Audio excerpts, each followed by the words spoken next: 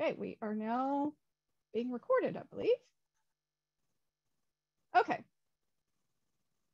Welcome, everybody. Welcome to we are the Genealogical Research Institute of Virginia. Um, let's see. Okay, that's something else. Um, one thing I've, I've, I've got to tell us uh, to we, we do lots of programs like this, and we have a couple of special interest groups. I'm going to talk about each one of them in just a second. Uh, almost everything is free to attend, except our, our usually for the fall conferences, which is uh, we were just chatting about. We're going to have Mark Lowe in October-ish. We don't have a date yet, so I don't have a slide for it, but uh, watch our, our emails for news about that. But anyway, most are free to attend, but your contribution helps us bring them to you.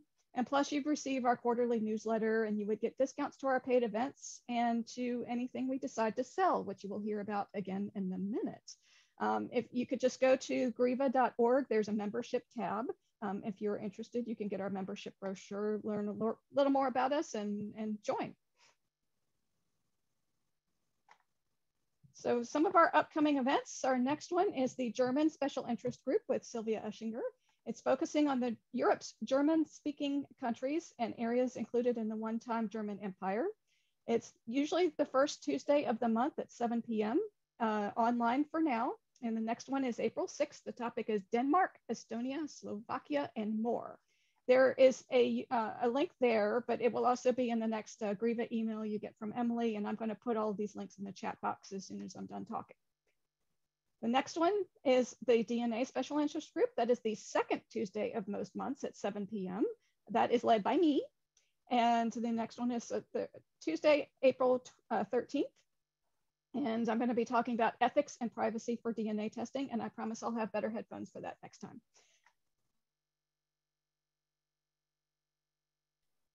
Sorry about that. Um, the next meeting that we have is from is from Ashley Ramey from the Library of Virginia on Tuesday, April 27th at 7 p.m. She's going to be talking about researching from home the digital collections of the Library of Virginia. So these are things that you can research at home in your jammies. So that should be, be interesting and lots of fun. That's Tuesday, April 27th at 7 p.m. After that, in May, we have David Givens talking about recent discoveries at Jamestown, bringing the 400-year-old site into the 21st century. Uh, it's going to be Tuesday, May 25th at 7 p.m. And before I introduce Cassandra, I'm actually going to, David, if you could unmute yourself and talk about the Gilmer maps. We actually have some prints of some Gilmer maps for sale. And he should be able to talk to you about that. Okay. We are fortunate indeed, as of last night, to have 550 maps left in inventory um, covering 55 regions of Virginia. I say 55 because some maps are of one county and some maps are of multiple counties. Uh, some maps are of the southeastern Virginia, so it depends on what map you're looking at. Uh, these maps are uh, drawn in wonderful detail. Um, in preparation for this, I went out to a county where my parents bought some property long ago in uh, Hertford, North Carolina, and that's surrounded by um, uh, Northampton County. And in the eastern part of, of Hertford, just to give you some idea of what I'm looking at on this map in detail, each individual house is drawn and a name written beside it as who the owner is.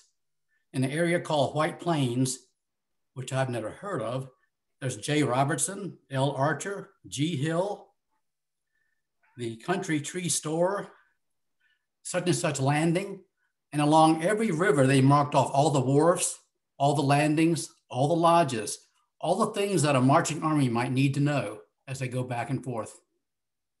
Um, and as you see on our tab on the screen, the Gilmer maps, there's a listing of the inventory of the counties and the maps that are available um, in an order form. So please take advantage of those.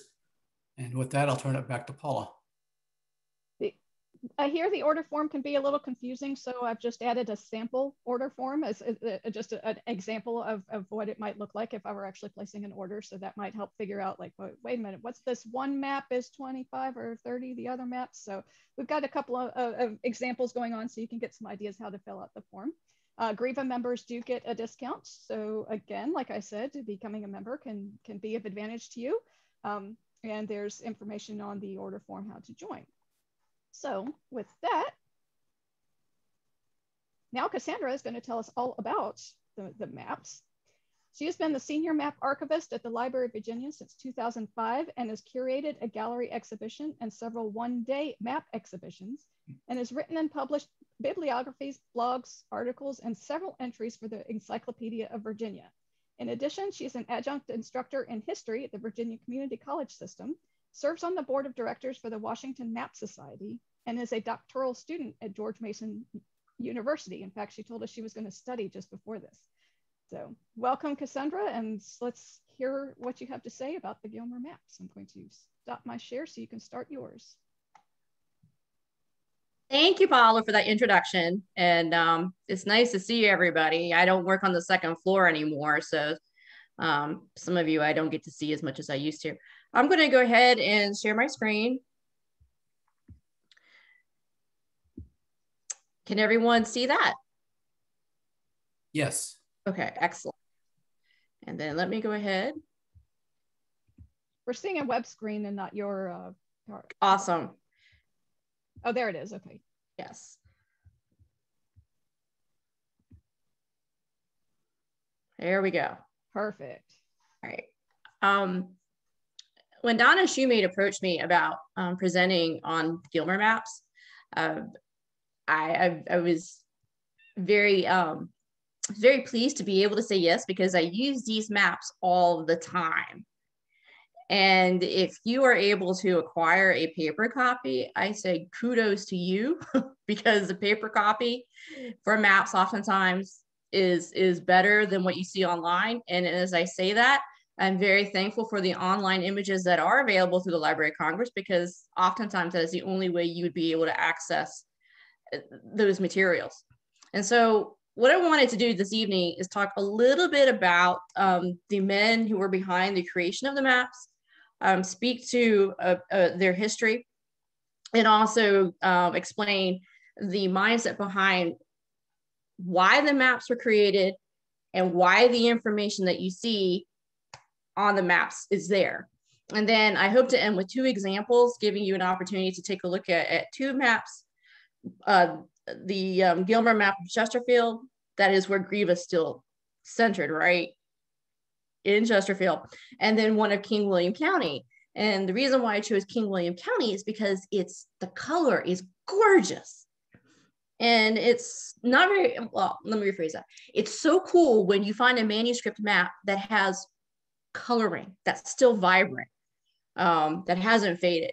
And so I thought I would show that as well. So the the name of the maps is the Gilmer Maps of Virginia and North Carolina. I sometimes think that it should be called the Gilmer Campbell maps of Virginia and North Carolina, because one was the head honcho over the Confederate Engineer Bureau, and the other one was in charge of topographical engineers, actually overseeing the actual work done. So let's take a look at the, the those two men. Um, the first one, let's see if I can get this to work here. And if it goes to go back here. Here we go. The first person is Jeremy Francis Gilmer, for, for whom the collection is, is named after.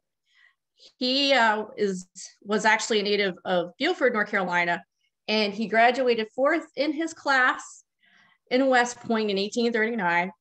And he was an experienced engineer, to say the least. And when um, Virginia seceded from the Union in 1861, he resigned his commission. And as you can see on the screen, he was commissioned major of engineers in the CSA. And then he was assigned to the Army of Tennessee as the chief engineer on the staff of General Albert Sidney Johnston. He was promoted to lieutenant colonel. And yes, I, see that lieutenant is still is not capitalized like it should be, and I apologize, and moved to Lee's Army of Northern Virginia in July of 1862. After that, he continues to rise in the ranks. He eventually becomes chief of the Confederate Engineer Bureau. And I think he was the, the third chief. Um, the first the first chief was his last name, I think, was Leadbetter. The second was Rives. And then when Gilmer became um, the third chief, he remained in that position until the end of the war. He was promoted to major general, but he stayed in that position because he was really, really good at his job. He was an effective administrator and cleaned things up. And that's exactly what, what the Confederacy needed at that time, is someone like a Jeremy Francis Gilmer. He was a part of Thomas, excuse me, Jefferson Davis's um, escape from Richmond. And after things settled down from the end of the war, he eventually settled in Savannah, Georgia, where he was the president and engineer of the Savannah Gas Light Company. And he was also a director of or for the Central Railroad and Banking Company. And he was also a trustee for the Independent Presbyterian Church, which I find interesting since GRIVA does meet in a Presbyterian church in Chesterfield County. So that gives you a bit background about Jeremy Francis Gilmer. He is he is a he's a trained engineer. He's an experienced engineer. He has a solid military background. And to graduate fourth in your class from West Point, that is that is that's pretty good, I think. So who was Albert Henry Campbell? And yes, I see that Campbell is misspelled. That should only be one M. Um, I'm going to blame that on the conversion from Microsoft to Google. So Mr. Campbell, it should be just be Campbell, um, was born in Charleston, West Virginia, um, and he he earned his master's degree in engineering from Brown University in 1850, which I am impressed already. Um, anybody who can do math, I, I am impressed with. Anybody who can do higher math, I am really impressed with because I can't do any of it. But he ended up becoming a civil engineer who specialized in railroad surveying and construction. And he had a stellar career in the 1850s. He was an assistant engineer for the Orange and Alexandria Railroad in, in Northern Virginia. Um, and he took a position out west where he served as the principal assistant railroad engineer um, for the expedition, seeking an economical route from the Mississippi River to the Pacific coast along the 35th degree north latitude. That is a mouthful. When the war began, he resigned his position out west. He moved back from out west back to Virginia and he became the clerk in a Confederate post office department. Someone must have discovered or saw his resume or realized that an experienced engineer was working in the post office and so he was commissioned a captain in the Confederate Army's Provisional Corps of Careers, Corps of, of Engineers. And by 1864, he had been promoted to major. But he became the chief of the topographical department of the Department of Northern Virginia. So you have Gilmer, who's the the the head of the Confederate Engineer Bureau, and then you have Campbell, who is the chief of the topographical department of the Department of Northern Virginia, which is basically the Army of Northern Virginia. And so you have two very skilled individuals working with maps for Virginia and North Carolina. When the war ends, um, Campbell eventually goes back to his engineering roots. He's working as an engineer again in 1869. Um, he and his family settle in West Virginia. I think he ends up traveling around the country as he did. I think he did work on railroads in Rhode Island and also along some of the railroad lines in, in um, West Virginia after the war. And of course, as you can see, he died in 1899. The Gilmer and Campbell oversaw the creation of hundreds of maps, hundreds of manuscript maps that were created during the war for the war effort. Well, Campbell was under the impression that after the fall of Richmond, the maps were, were completely lost. Um, they had been told to destroy the, to burn the field survey notes, which I cringe every time I think about that because those survey, those field survey notes would have been so helpful to historians today because it's from those survey records that the, the maps themselves would have been would have been made. So Campbell is underneath the assumption that the field survey notes were destroyed. He had um, taken all of his paperwork. He had a box or two of maps, other archives from his office that he sent with a, an engineer, um, and to take, you know, to get him out um, of Virginia. And um, from what he understood, those boxes of maps and the other archival material from his office were lost. And then he had negatives of the uh, general maps in his collection um, from the Department of Northern Virginia, who gave to his private secretary, who was on who was on traveling down through North Carolina into Georgia. And the gentleman, when they got into um, Georgia, he decided to hide the negatives in a lady's baggage um, in, in her bag. Apparently, it must have been a huge bag. So he hid them in there. And then he heard that the next stop that they were going to be, um, their next stop is where Union soldiers would be present to go through and um, basically sift through everyone's belongings to check to see if there are any fugitives or any spies on the train. He freaked out. And so he decided to burn the negatives to save them. So to burn yes emily to he burned the negatives to save them. And you campbell's writing this and you're thinking oh my gosh i wonder how sarcastically what kind of sarcastic comments was running through his head when he was making this comment writing this comment down. So he is underneath the impression when he writes the article titled the lost war maps of the confederates for the century magazine in 1888 he's underneath the impression that the maps were, were gone, the maps from the um, Confederate Engineers Department. Um, and a lot of the maps from the um, that were part of the Army of Northern Virginia, Department of Northern Virginia. What he did not know is that Gilmer had managed to save about two or three hundred when Richmond um, when Richmond fell, and that he had been apparently acquiring a few others throughout the years. And this came to light when his daughter decided to um, donate the manuscript maps from, from the Confederate Engineer Bureau uh, to the Virginia Historical Society, to West Point, and to the Southern Historical Association at North Car- at UNC Chapel Hill. And so the manuscript maps, I think most of them were, were sent off to these three institutions. And the Virginia Historical Society received over 60 of them. And of the maps, the 60 plus maps that they have, uh, several of them, as I'm sure you are aware of, are consist of multiple sheets. So you may have 65 or 66 maps, but I think you have close to like 100 sheets um, around that, around there. I haven't counted all the sheets, but I think that that's where you're at. Um, and so what's happened in the 20th century is is the maps um, have been conserved um, they have they have been copied. And so throughout the united states you find that institutions have received um, uh, blue line prints copies of the gilmer maps um, from west point. Um, you'll find photostat copies at the library of congress.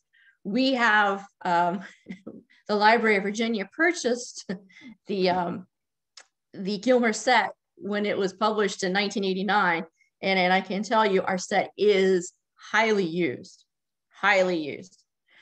And so, and then in the early 2000s, um, a gentleman by the name of Alan M. Voorhees was instrumental in, in encouraging the Virginia Historical Society, the Library of Virginia, and the Library of Congress to provide their Civil War maps of Virginia, to collectively scan them, upload them to the Library of Congress's American Memory website so that folks from around the world could study and, and view Civil War maps of Virginia.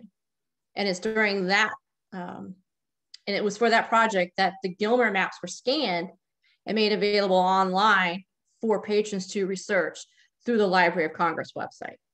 And so as you use the Library of Congress website, you will find the Virginia Historical Society's collection of Gilmer maps. And um, as you peruse through the maps of Virginia, you'll also find other Gilmer maps and other maps by Campbell that are not that were not a part of the the Gilmer gift, um, but are at the Library of Congress, so on and so forth. So they they are readily available, but like I said, there's nothing like looking at a paper copy because you get the full view of the county um, when you're able to actually view the county map. And as was pointed out, some of the maps within the Gilmer collection are of sections. Um, it have multiple counties on a map. And then there are counties that have not been mapped at all. One of them being um, the city of Newport News, where I was born, and a great portion of the Tidewater area, and of course the Eastern Shore, since that was under Union occupation for most of the war. So, but the maps that are provided and are available through the Gilmer collection provide a wealth of very helpful information.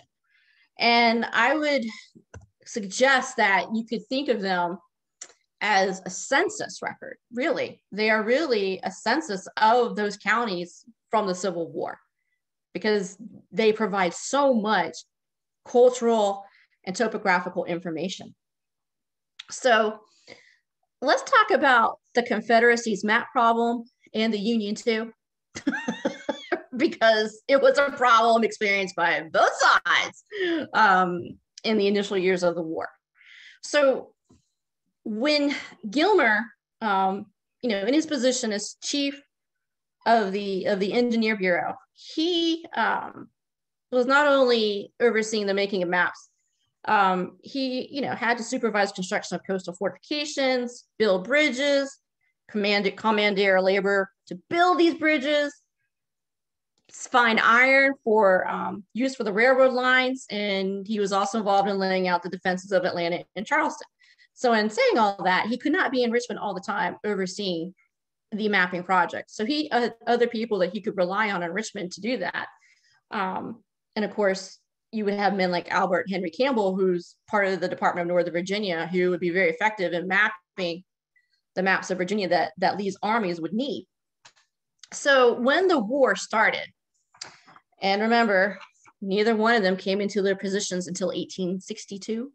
So throughout 1861 and into the early parts of 1862, the Confederacy really didn't have a mapping program. They had one, but I'm not going to lie and say it was effective. It really wasn't. It was not. And the maps that they had to rely on when the war began were A, out of date. These two maps that you see in front of you are the map of Virginia dated 1859. Well, you're going, but it's 1861. If they're published in 1859, they're not out of date. You're you're not incorrect. you're not incorrect.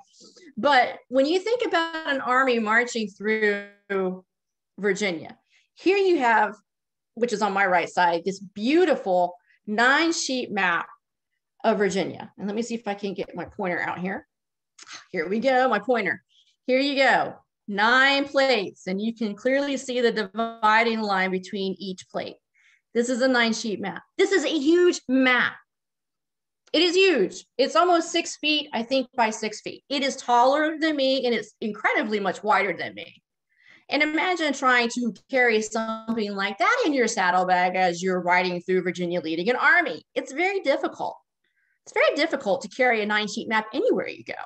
And oftentimes you would find these maps that are this size dissected into several parts so that they could be folded up and carried around with them in a saddlebag still it's cumbersome. So they made sure that a reduced size map was published in four from four copper plates. And you have one, two, three, four. And I'll give you two seconds to guess which maps the soldiers in the field, the officers in the field prefer to use. Two seconds. Could it be this one? the four sheet map, because it's just much easier to use. But how is it going to help an army in the field? It's a it's a it's a it's a reduced size map, much easier to carry in your saddlebag, but it's chock full of information. And it's not going to provide the information that the army needs as it's marching through Virginia. So they clearly saw that there was a need for maps. I mean, you needed updated maps. Um, you needed maps that provided the um, topography of, of a county or city, um, uh, where the peach orchards are located, where's the mill, where's the shoemaker, um, is if there's a, um, and you would hope that there would be, um, I can't believe I'm forgetting the name of this occupation, um, blacksmith in the county as well. And I have a good friend who works as a blacksmith at Colonial Williamsburg. You wouldn't think I would forget that profession, but the, you know, they're looking for that kind of information because they need it. Well, as I said earlier, um, the Confederates were not the only ones who had a mapping problem. The Union did too. And the Union, the Coast Survey was responsible for making a lot of maps for the Union, as were topical, topographical engineers in the field. Too were, were relying on the reduced size map of Northern Virginia. And here is one that was reproduced by some reproduction method um, for the Coast Survey and was used in the field by Union officers. And we managed to acquire this a few years ago. Um, and it was, it was of course number 70. But just to give you a sense, it's not just a Confederacy problem, it's a Union problem too. And so if you're looking for maps, and I don't know why this is not going to go away. Um, if you're looking for, you know, maps, the Lloyd's official map of the state of Virginia would give you the impression that it is an official map. It is not. It is a map for commercial sale only. And you certainly had generals. There was a, a letter from a, a, Union general to his daughters explaining if you get if you acquire Lloyd's map of the state of Virginia, it will give you a general idea of where our armies are marching. And that's about as good as you'll get, just a general idea. And then there are other maps that were available, like this one right here, this map of Henrico County, which, which was actually published in 1853. It was surveyed um, by James Keily, published actually in, in Richmond. It's one of the few county maps um, that you'll find from Virginia. Uh, very few Virginia counties were mapped in the 1850s and published to this extent. Um, Loudoun County is, is one of them and I believe Dinwiddie County may be another one that was published at this at like the one that you see.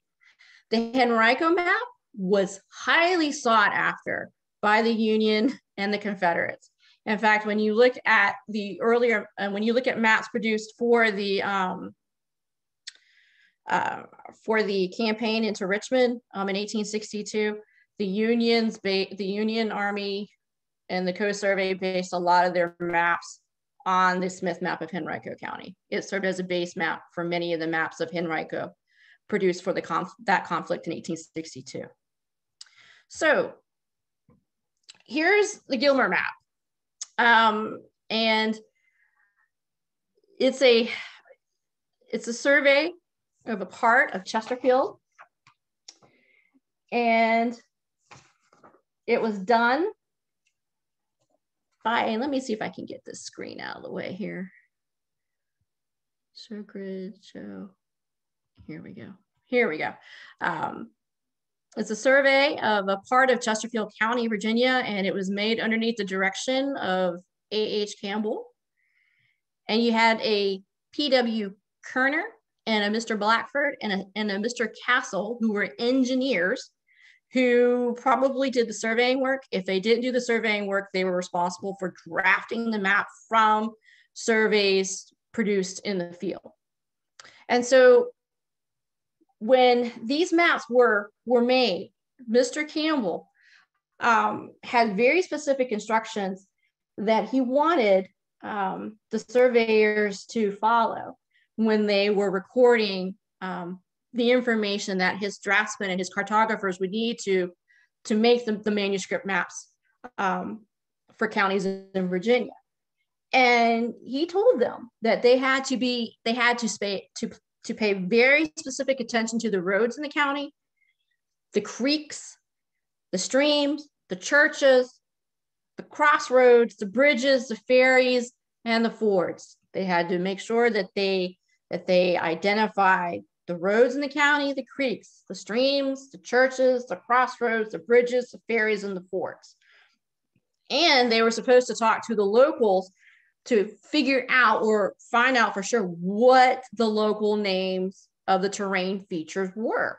So they had to interview residents as as as they surveyed the county just to make sure that they were using the appropriate local place names.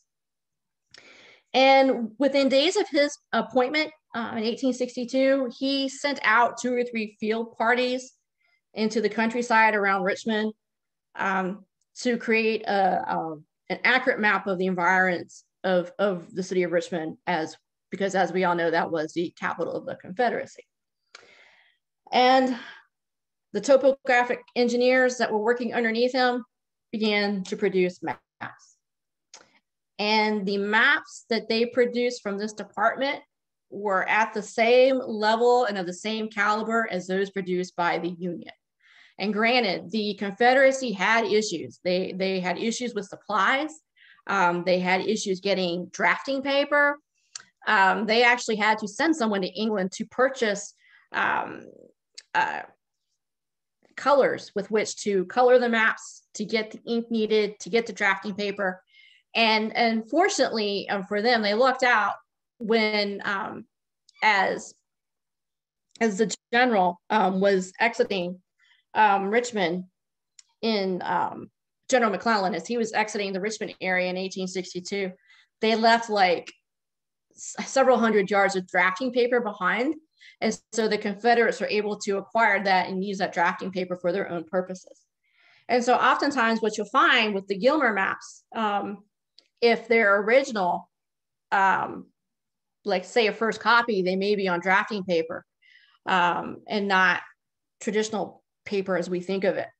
So his department um, was making maps. The Confederacy also made sure that there were topographical engineers with the armies that were also surveying and mapping and providing maps for, for the officers. And in the case of Stonewall Jackson, he had Jedediah Hotchkiss to help him out. And Jedediah Hotchkiss was a fantastic amateur cartographer. And I say amateur because he was not a trained engineer. He had not received any type of surveying or drawing um, education from West Point. Most of the the men who served as engineers in the Confederacy probably had some sort of West Point training. The exception to that would have been Jedediah Hotchkiss, who was brilliant. Um, Stonewall Jackson loved him, but you, but that's an example of Stonewall Jackson having um, a surveyor working with him to provide the maps that he needed in the field. So the Confederacy had people working in Richmond, drafting maps to send out to the field. They had engineers topographical engineers with the armies who were mapping that. And then of course, um, surveyors, civilian and private surveyors that were paid um, by the Confederacy to, to um, survey and map the land. What you find is that the Gilmer maps to uh, most of them were produced at a scale of one inch to 80,000 inches on the ground. So as you look at, at the Gilmer maps, um, you will find that um, most of them are, you know, one inch on the map equals 80,000 inches on the ground. Um, and I'm not sure how many miles that is or how much feet that, that consists of. I didn't have a chance to, to do the conversion before this. Most of them are going to be oriented north and a good portion or in fact, I think all of the maps that were donated by Gilmer's daughter to the Virginia Historical Society have a statement on them indicating that they were presented to the Virginia Historical Society by his daughter, Mrs. J.F. Minis of Savannah, Georgia. Almost all of them are going to have that information on it. And a lot of them are going to be oriented north. Um, and you have a, a, compass rose of sorts identifying the direction um, where north is. So let's take a look, a closer look at this map of Chesterfield. And the roads are in red. And you'll notice oftentimes with these maps, um, the originals, not, not the photostat copies, um, the roads are in red.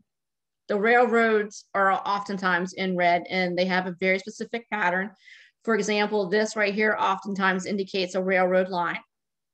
And then of course you can see here where you have roads intersecting together in red. On a, there, the topographic information is displayed in hachures and also I would say pictorially. Here is an example of hachures right here. The hachures are used to give you an idea of the contour of the land and also um, uh, uh, uh, features height. You'll find on these maps a number of place names. Um, for example, here is poorhouse. I don't know if that's actually a reference to an actual poorhouse or if that's just the name of a locality. I'm sure someone in Greenville knows. Um, if you look further down, you're going to see other names of, of residents. Um, here's Mr. Jackson's Mill. If you're an army marching through Chesterfield, it's very helpful to know where the mills are located. It's very helpful. And of course,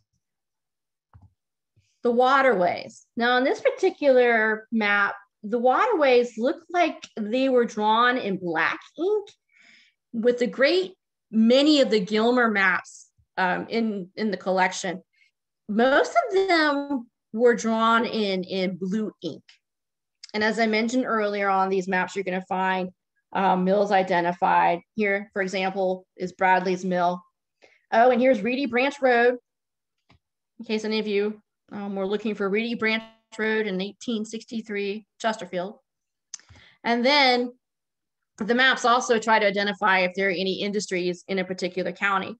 And down here at the very bottom of Chesterfield near Petersburg, um, you can find a reference to the cotton factory. Um, here's a reference to Ettrick suburbs. You can also see another factory mentioned here just above the Swift Creek Village. And of course, um, topographical features, I think these are wooded areas. Um, you will find orchards if on, on, on Gilmer maps as well. And then of course, up in the northern part of Chesterfield, here's a reference to the Virginia Iron Company. And of course, we all know that there were a number of coal fields in Chesterfield. And if you want to find the location of those, the LaPrade map of Chesterfield from 1888 lists a bunch of them. And of course, churches. I can't forget to mention churches. Um, the churches are, are identified, and there's a specific symbol that they use to show churches. And that right there is, is the symbol almost universally used on all of the maps. Oh, and another mill right there, Mr. Tompkins Mill.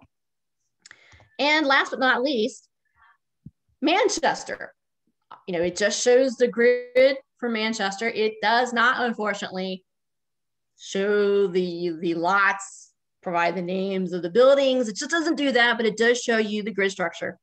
And then you can see the roads coming into Manchester, like the Manchester Turnpike or the or the Old Coal Railroad.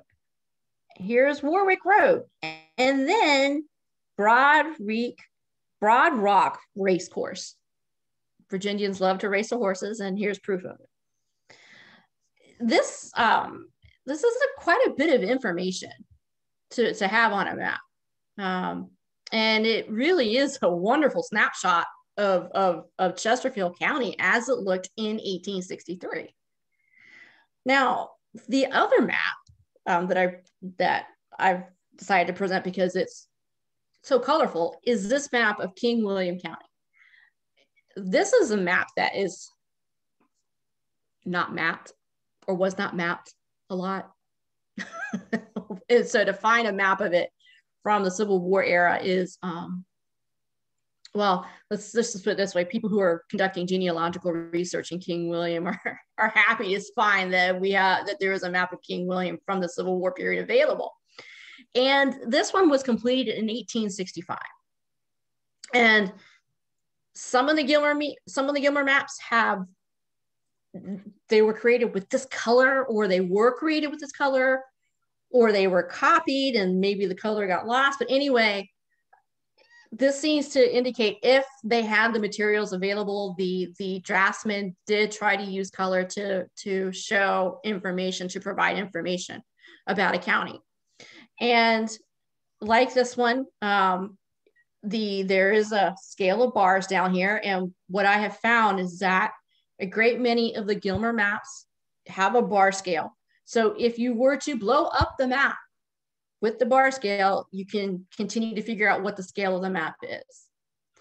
Um, this particular map was drawn by a Mr. Blackford, not the same Blackford who was engaged in drawing and putting together the Chesterfield map. Two different Blackfords here. I have not figured out if they come from the same family or not. That is a mystery.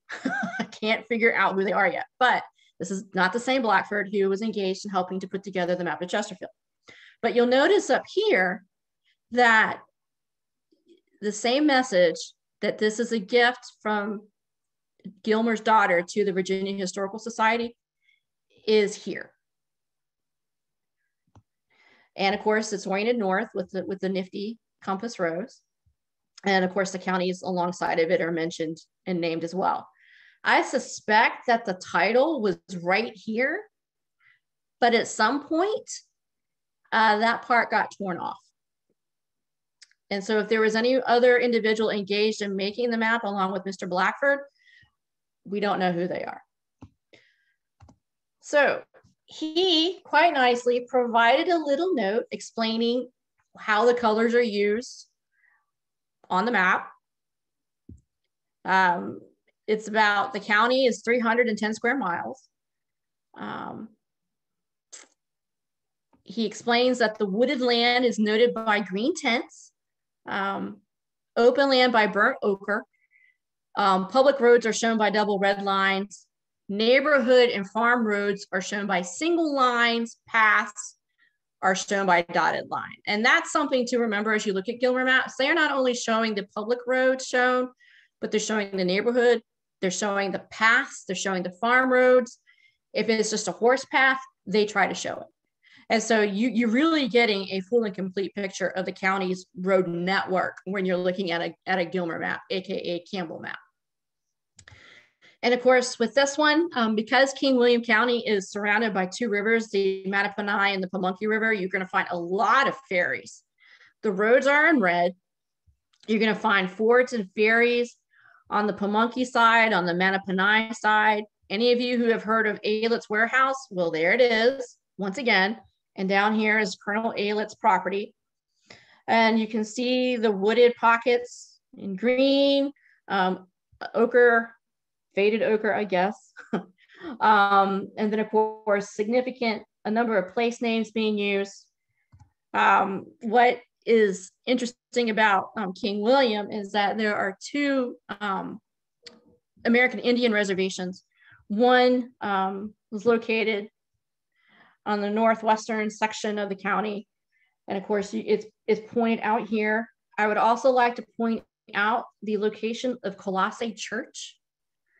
The reason why I point this out is a friend of mine was married in this chapel um, a good 15 years ago. Yes, the church is still standing, and yes, it is still operational and apparently going strong. So don't be surprised if you find some church names and the churches are still still in use and still uh, own the same own property or the property that they owned in the 1860s. Um, let's see and here down here towards the the other end um, is the location of the um, the other um, American Indian town, and you'll notice that the um, rich the Richmond and York River Railroad cross over at White House into King William and makes its way all the way down into West Point. And when I initially put together the snippet, um, the West Point um, West Point was actually shown. But as you look at this map of, of um, King William County, you get a very good idea of its topo, topographical features, which is information that an army would need um, if it was going to be marching through the county. Um, they need to know where the fields are located. They need to know where the roads are located. They need to know where the main roads are located so that they know where to send the, the soldiers and the armies marching. You don't want to send the army down a narrow lane. I, that I just don't think that would be a good idea. So you're looking for avenues in which to move the armies across the county. So um, that is pretty much what I had to say Um, I could talk more about this, um, but I'm not quite sure what time it is. But um, it's certainly time for questions if anybody has them. It is and 747. So cool. we've got we've got plenty of time. If anyone has any questions, feel free to tap, type them into the chat box. I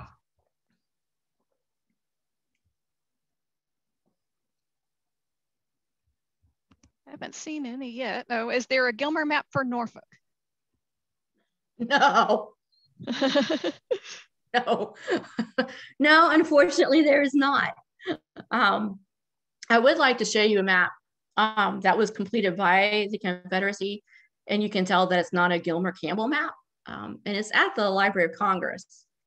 And I'm just going to blow this up so you can see the differences between the two of them. Let me um, Here we go. While you're doing that, there's a question, how about with County?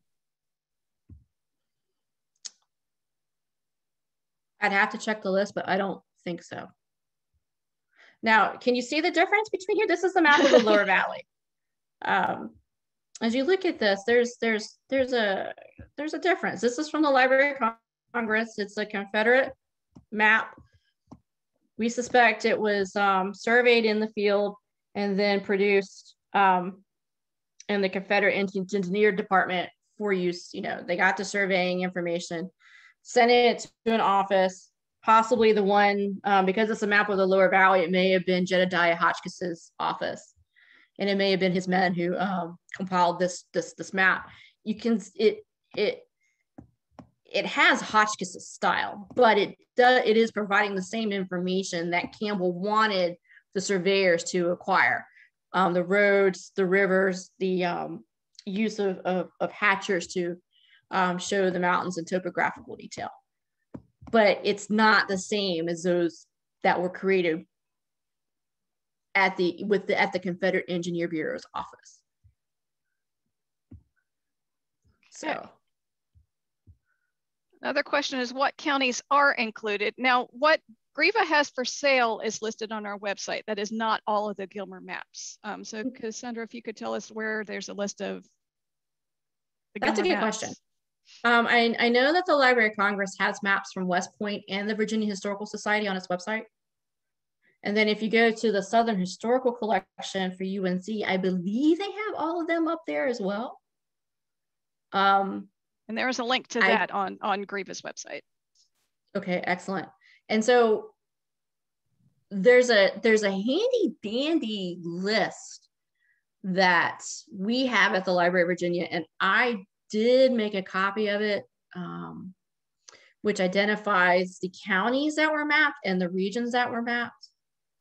Um, I don't know if that list came with the maps that you acquired or not, but I know we have an introduction um, David, provided David by the shake, David shaking his head. No, that's we did we did not get that list. Oh well, let me assist you. Fantastic. yes, um, I do have it. Um, it's not on this computer, but it's on my work computer, and I have a PDF form that I can that I can send to you Ooh. that identifies the counties from the Virginia Historical Society, and it even includes a map showing which which counties are included, and it's color coded too. So I hope nice. no one's colorblind. uh, because they did it in red and green, which is not what I would have done, but that's what they did. Yes. Next question. How were Gilmer and Campbell able to collect the names of households so rapidly? Well, they the surveyors who were in the field did it. The topographical engineers or the surveyors that they hired went around and and they um, tried to figure out or try to guess where battles might take place based upon the movements of the armies. So they would oftentimes send um, surveying parties in advance to start sketching a, a, a county ahead of time in preparation. Um, and I do know that they were also using the John Wood maps. Um, many of you are probably familiar with the John Wood map collection. Um, the state hired John Wood to oversee the creation of county maps of Virginia, um, which were created by him and by Buchholtz between 1819 and 1825. And there were, I think, 96 counties that were mapped. And those maps were then used to put together the 1827 map of Virginia, the very large nine sheet map. it's huge. It's very pretty, but man, it's huge. Um, and so the state at the time of the, the Civil War began had all of those wood maps um, because I found documentation from the Confederate Engineer Bureau um, indicating that the state of Virginia's archives actually had the wood maps for New Kent County and Charles City County. And they sent them to the Department of the Army of Northern Virginia because they needed them to create the maps.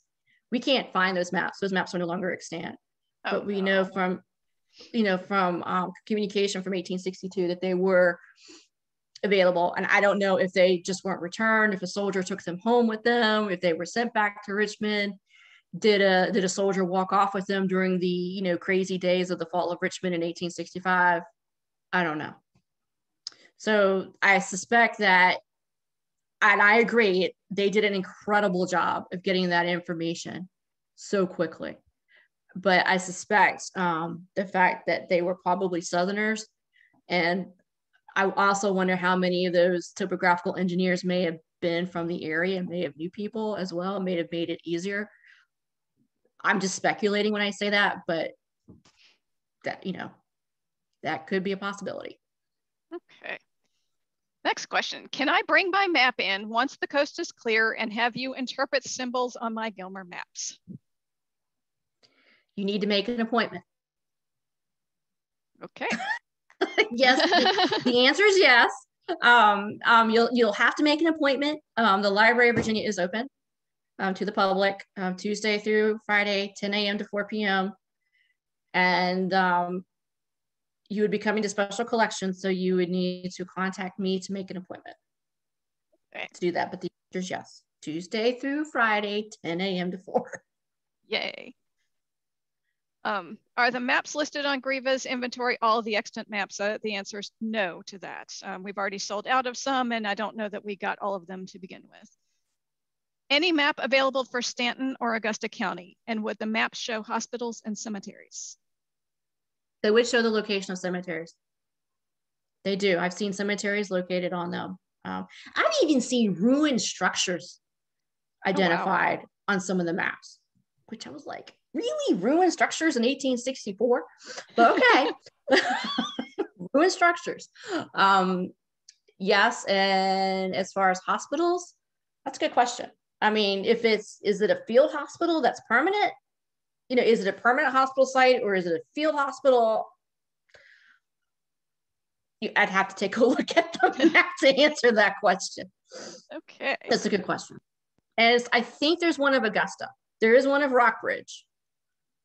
And I think there's, I think there's one of Rockbridge in three sheets.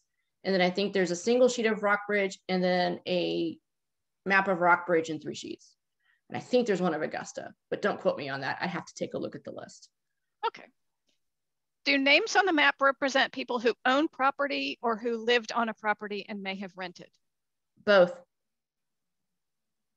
Cool. Both.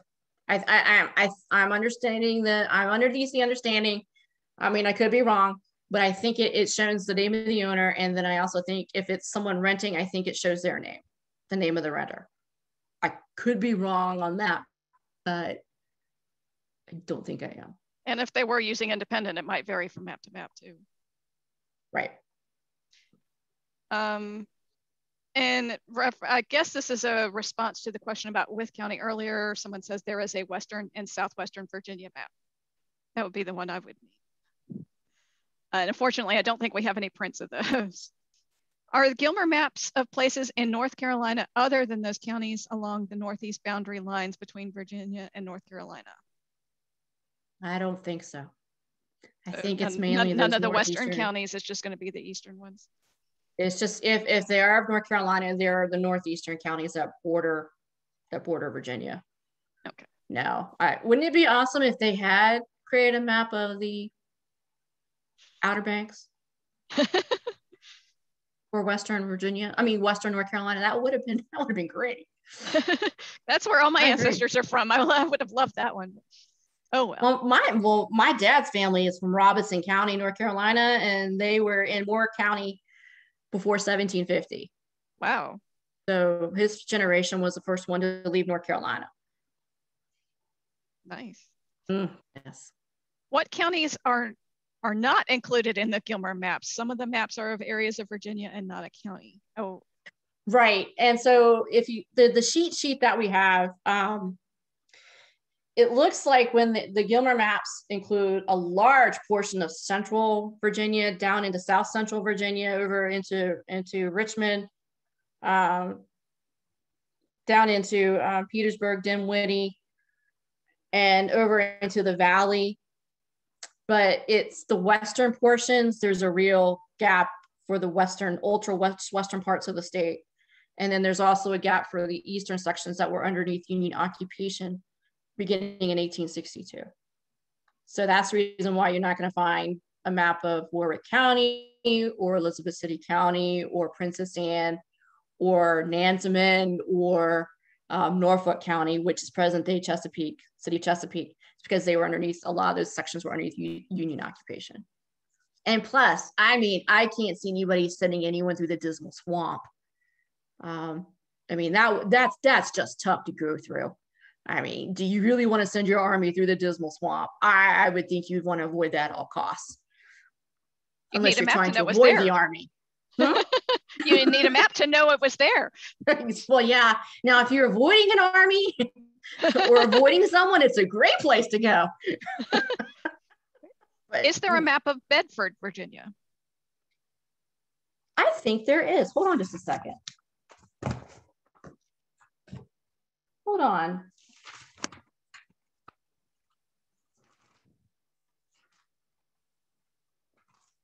Let's see here. I actually went through the Library of Congress, the maps on the Library of Congress and looked at all of them. So let me see here. There's um anyone interested in Brunswick? There's one of Brunswick. Um, Bertie County,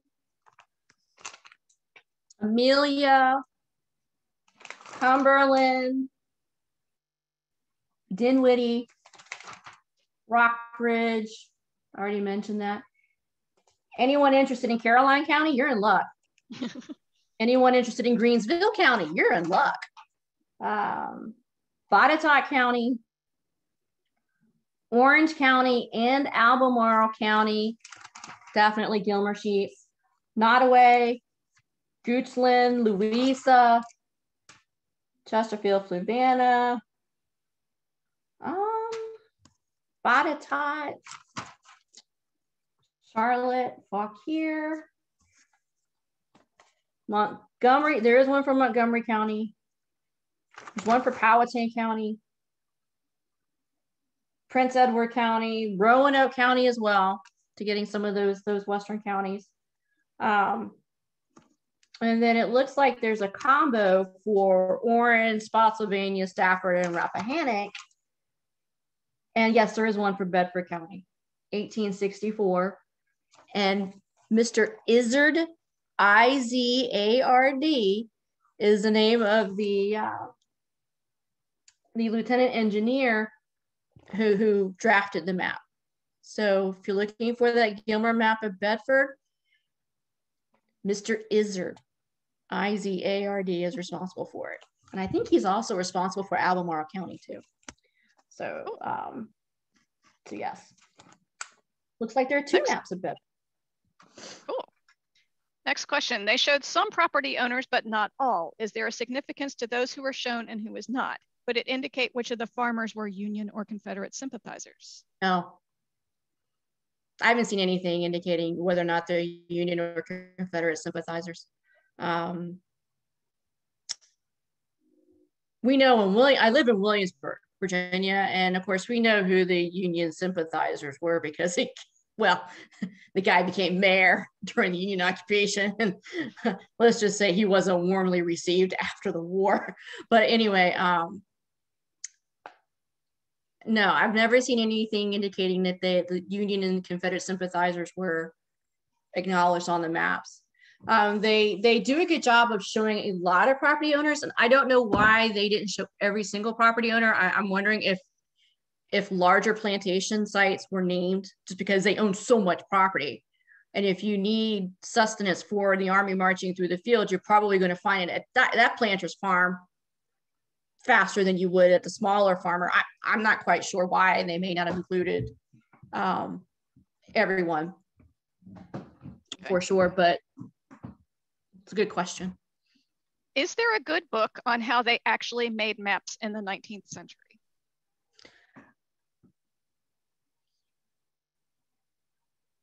It's not one source. That's the problem. it's not one source because the 19th century, you have maps being made from copper plates at the beginning of the century. Um, and the copper plate process is, is, is really nifty. You get a copper plate, you hire someone to etch it, actually etch the map into the copper plate. And then you have someone who's going to pour ink into the copper plate etchings, and then you're going to put map or you know paper over that, not a map, paper to make the map. And then you're going to have a print press with a roller rolling over it to get the ink into it. And oftentimes the paper would be wet so that the ink would, you know, stick to the paper better. But as you move into the the 1820s and 1830s, the, the graphic process begins to take over. And so how map, maps are made changes. They change from copper plates, which is expensive, to lithograph stones. And so the process just, it just changes. And the lithograph process is what is used throughout a good portion of the 19th century by the commercial publishers. Now, I will tell you um, that during the war, the Coast Survey was still making maps with copper plates when the war began in 1860. And they had to find a faster means of making maps during the war. And so they both, the Union and the Confederacy, came up with methods to reproduce the maps in the field using chemical processes. The Confederacy came up with um, sun prints, and the Union um, were using some sort of photographic method as well to recreate maps for use in the field. And so, um, so they they did they were you know they were making they were adapting and and and making maps as fast as they could um, for for the for the field officers. Um, but the lithograph process is really in place through the end of the 19th century. And there are, there are books that explain the lithograph process. And then of course you have variations of that as well. But it, it's very interesting. Um, I was in an antique shop a couple years ago and someone had found some um, lithograph stones that they had been using to produce banknotes from wow. from a bank in Connecticut. I think someone had thrown them in the river. And I don't know how this this antique collector, antique dealer got a hold of them, but he had them and he was had them for sale. But anyway, um, it's cool. I'm afraid I didn't answer your question very well. Um, but we gave him gave him some ideas of things to look for, I think so. Yes. All right. Next question. If we assume that all of the maps now available are digital, who has the best digital copies? The Library of Virginia, the Virginia Historical Society, the Library of Congress, North Carolina. Who has the best digital management asset system is what it boils down to. um, the Library of Congress, um, I like their interface. Um, we are in the process of, um, tra of transferring our digital images from um, DigiTool to Rosetta. And so I'm hoping within the year that our maps will be available through Rosetta and and it looks like it's a much better system than what we have right now. And we have managed to put quite a few maps online in our Virginia memory portal. It is not easy to get to, but they are there. Oh, cool. and, and, and, I can show you how to get to them if everybody's interested um, before the end of the evening. Yeah, um, sure, run that. The Library of Congress has an excellent collection. I like their their interface. The um, the Boston Public Library has a really good map collection as well. And, and I like their interface. It's the Leventhal Map Center. And then the Newberry Library has an excellent map collection. It's just most of them are not online, but it is worth checking their catalog to see what they have because their their map collection is just wonderful. And then um, there's the Rumsey map collection, the David Rumsey map collection through that's at Stanford University in California. They, Mr. Rumsey had this awesome collection, huge, gigantic collection, and um, gave it to Stanford. And they have managed to, what they have done is incredible. A lot of the maps are geo-referenced. You can get to them. Um, you know, once you get to the Rumsey Map Center site, it's searchable. I will tell you in my researches for Virginia, they do not have a, um, their collection of 18th century maps of Virginia is, you know, it's not their, it's not the collection strength. If you're looking for 19th century maps of Virginia or basically anywhere in the United States, it has an excellent collection. Excellent. Okay. Um, we have a question, which maps have you sold out of? That would just be teasing you guys. We probably shouldn't answer that. You probably don't want to ask that, but uh, I will direct you to email the address on the uh, order form if you really want to know. Um, I'm told there is an Augusta map. Excellent. The Gilmer map I have of Hertford County, North Carolina shows slave quarters of the larger enslavers. That's fantastic because you will find footprints of that. And of course, as you know, insurance companies didn't always insure properties in the county. You had to live in a city or town. And the Mutual Assurance Society of Virginia actually insured county properties until about 1820. And then they said, nope, can do. And then that's when they just started insuring properties in the cities and towns. But yes, they did. In fact, um, I have to write a biography for one of my classes. And the gentleman um, had a farm in Stafford County that he insured by the Mutual Assurance Society in 1806. And I'm sure they wrote him in 1819 and said, We are discontinuing our coverage of you in 1820. so, um, but yes, yes, that's awesome. I mean, because if you can find a footprint like that, that is fantastic. It's great, except she says, unfortunately, there's an error on that map where two large enslavers' names are reversed. Those names are Bynum and Myrick. Oops. Still, I know. It's great, that, it's great that they're there. how about right. counties? How about counties that were Virginia now West Virginia? No, they, they're not a part of the Gilmer collection.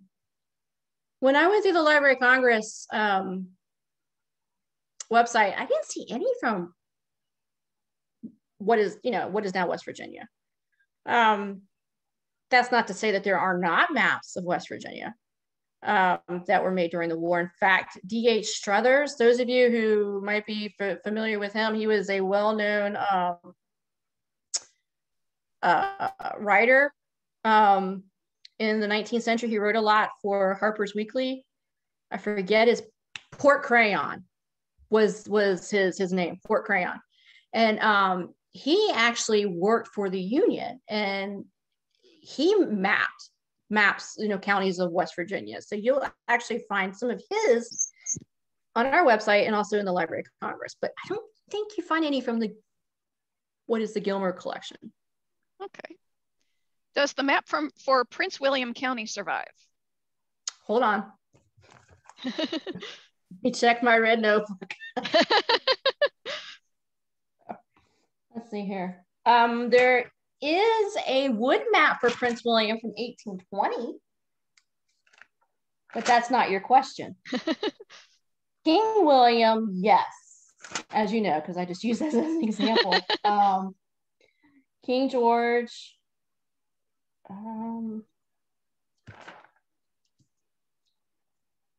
I don't see one for William. In fact, um, if I'm recalling correctly, I didn't see anything for, um, and, and maybe it's in the North Carolina collection, but I didn't see any for um, Fairfax, for King William or Loudoun. And I think Loudoun was Union occupied for most of the war anyway, I think. Um, or I know that a lot of the residents of Loudoun County were Union sympathizers. Um, before the war and during the war. So from what I've seen on the Library of Congress website, I haven't seen any. Um, and they they've done a good job of showing maps from West Point, the West Point collection, and from the, the Virginia Historical Society. That's the museum of the Virginia Museum of History and Culture, or is it the Museum of Virginia History and Culture? I still Virginia, call it the VHS. Yeah, yeah. we know what you're talking about. But I I know. I know. Virgi- I mean- Virginia's Virginia's first. I know that. Okay, uh, I do know if you type in VHS, it still comes up in a Google search. Um, Oh yes. So no, I see Prince George, um, Culpeper, Madison. I don't see King William. Okay. Well, speaking I of the see union. Campbell. Oh, I take that back. There is one. Oh, cool. It's at West Point. Okay. There is one for King William on the Library of Congress website. The original is at West Point, and it's King William or Prince William? King William. No, yes. Yeah, the question was about Prince William. Prince William. Oh, of course. no, I have no. I check the UNC site. Maybe there's one there, but no. Okay, Oh, I'm sorry. that's all right. Well, speaking of Union maps, the next question is, are there Union maps for those areas occupied by the Union Army, like Tidewater?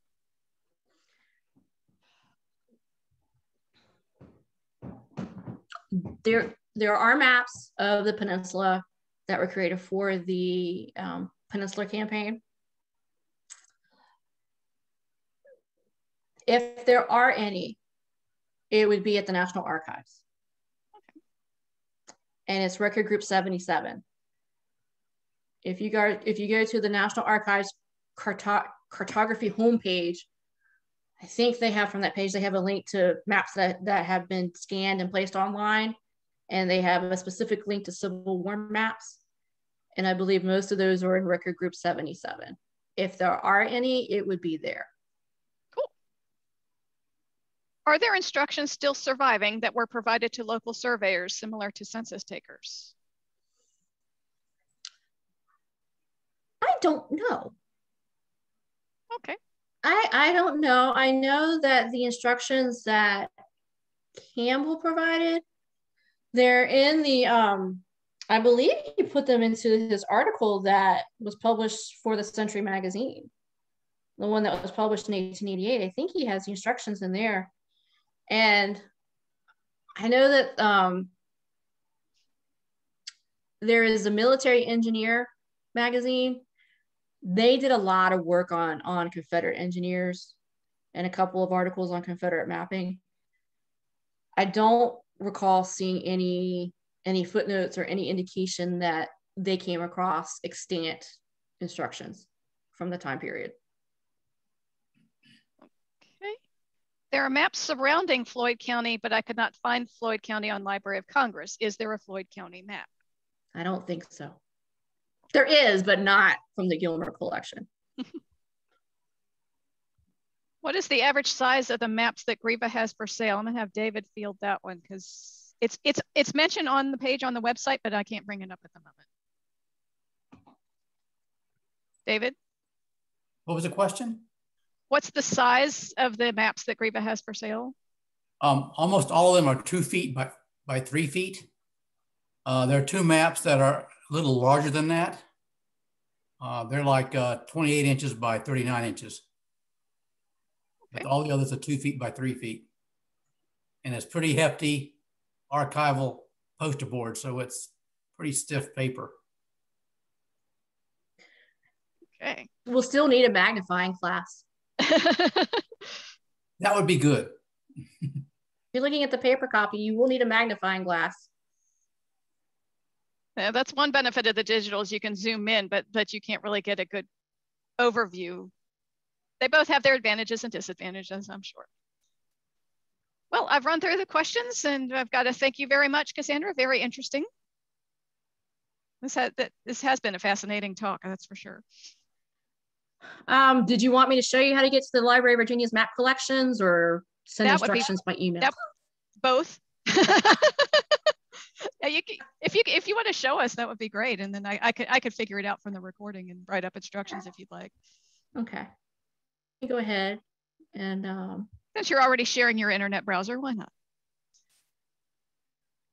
Okay, so I'm gonna go to the Library of Virginia website.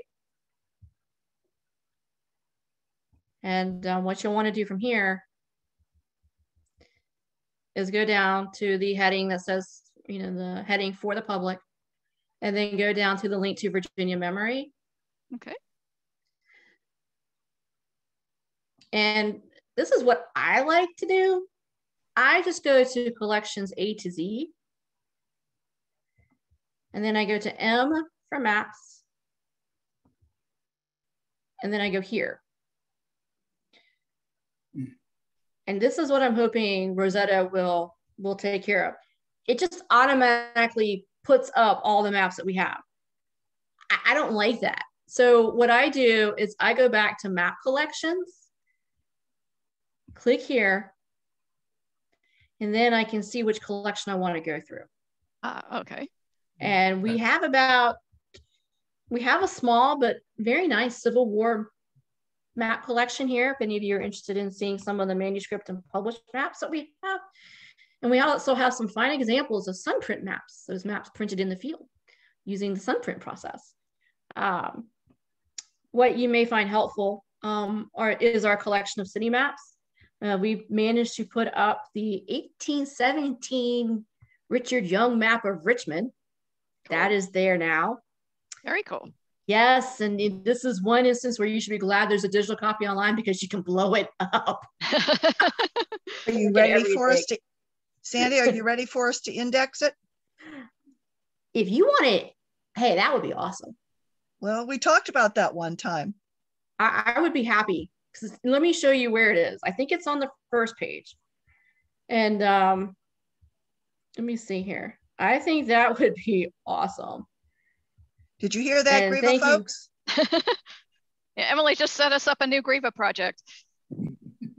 if I can find it here, because I don't know if you guys have have or have not seen it. So you must be on the. There are probably page. enough new folks who didn't see it when okay. you and Leslie came. Okay. Well, at least you're getting a good idea of what we've got on our pages as I try to find it. There it is. It's number 60 in the City Maps collection for any of you who want to go back. so here we go.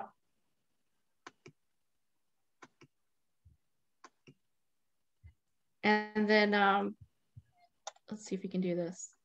What I like to do is pull it up like this, if you see what I'm doing. No. No, no what do you do? Wait, wait, we don't, wait, we're just still seeing the page. Okay. Can you see the map yet? No. No. Probably in a separate window. And that's the window that I see. No, Are we're still we're, we're, we're, we're still seeing the Library of Virginia page.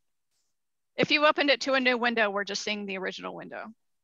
Okay. So maybe you could open it to a new tab and then click on the new tab. That's what I'm going to do. Let's see if I can do that. Oh, come on now. That's what I'm going to do. Open a new tab.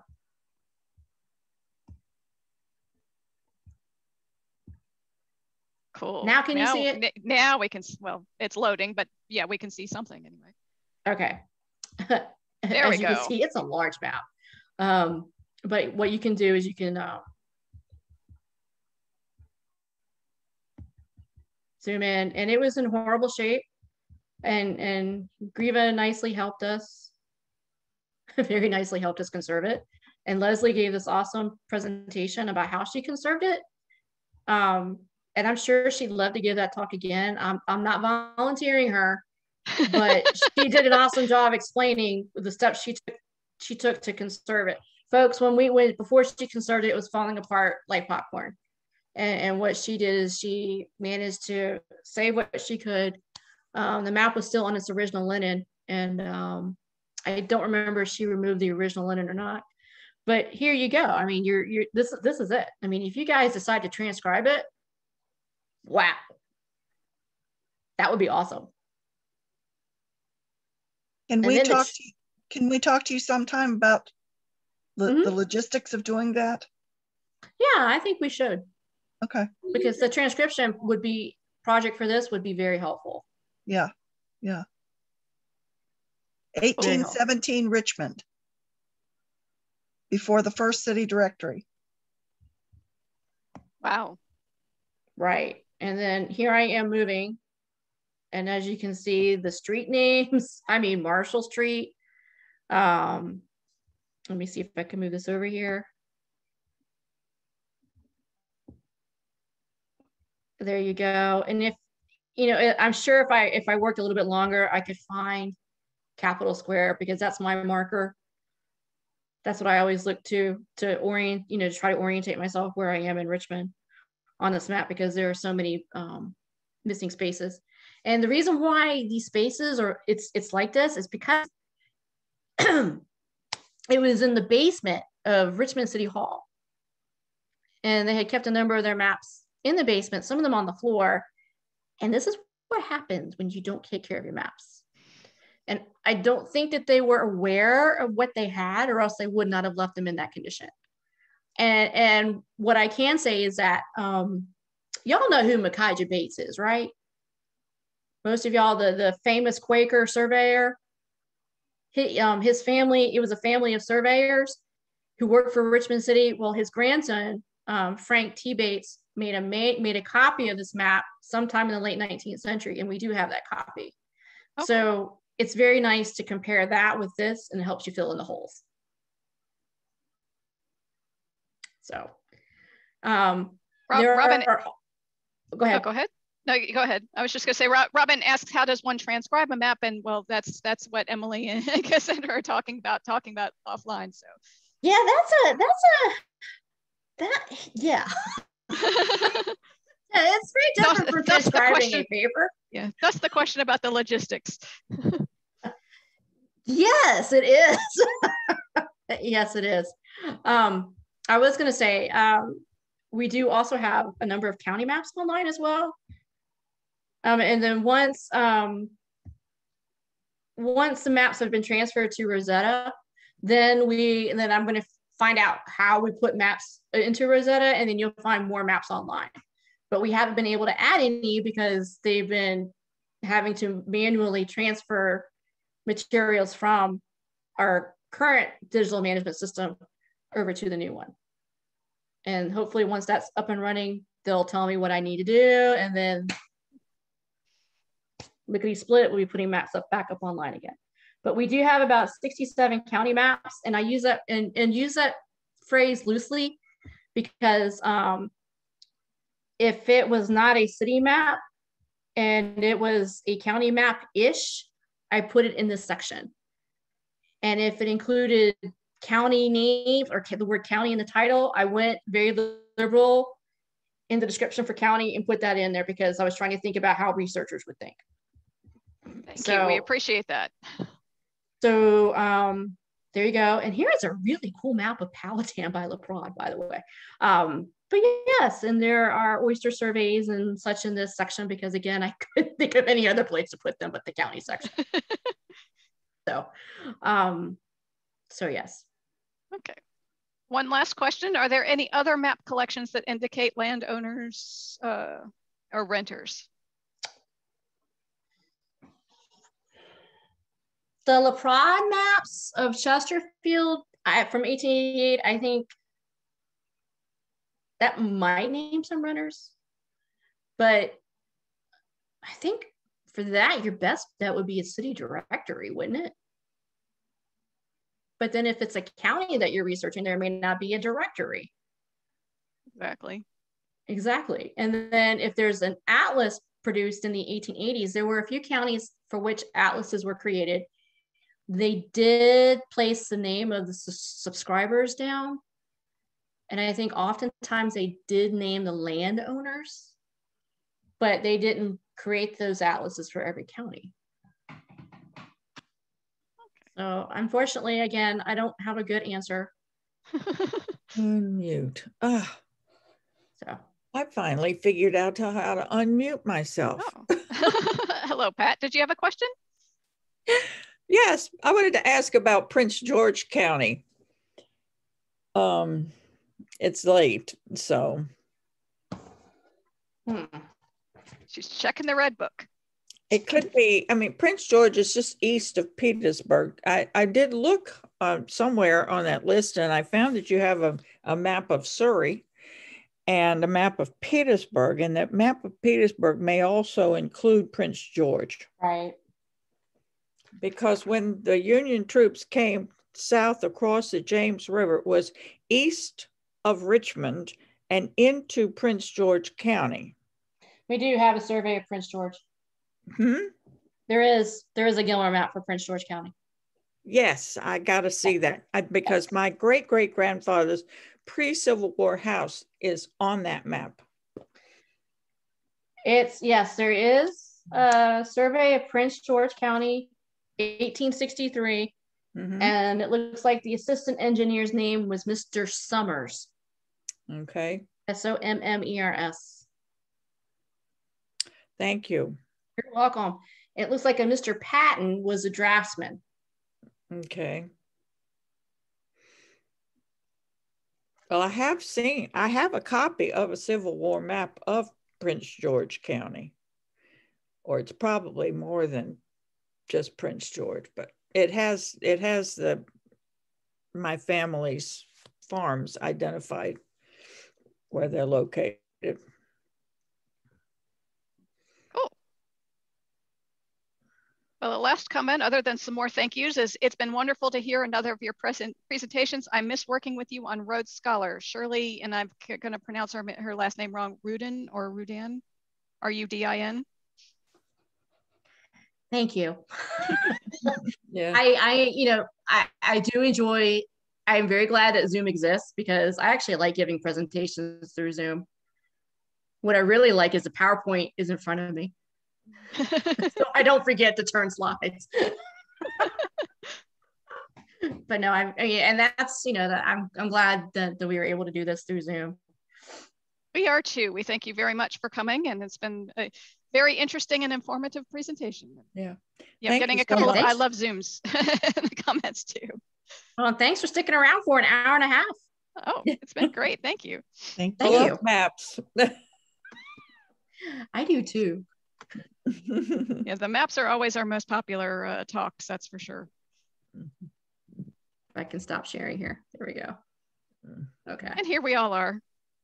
Yeah. Good night, everybody. Good night. Bye-bye. Night all. Thank you, Cassandra. You're welcome. Thank you. Stop recording.